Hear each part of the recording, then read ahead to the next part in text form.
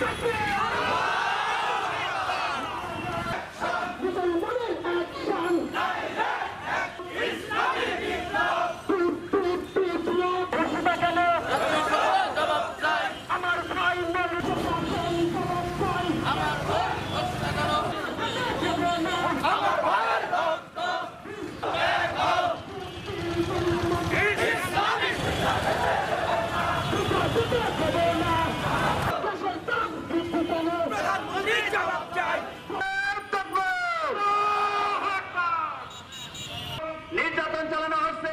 সেখানকার ভাইদেরকে হত্যা করা ইসলামী আন্দোলন বাংলাদেশের কেন্দ্রীয় ঘোষিত। অনুষ্ঠিত ইসলামী আন্দোলন, ঝিনাইদহ জেলা শাখার নেতৃবৃন্দ আমাদের দেশের প্রধানমন্ত্রী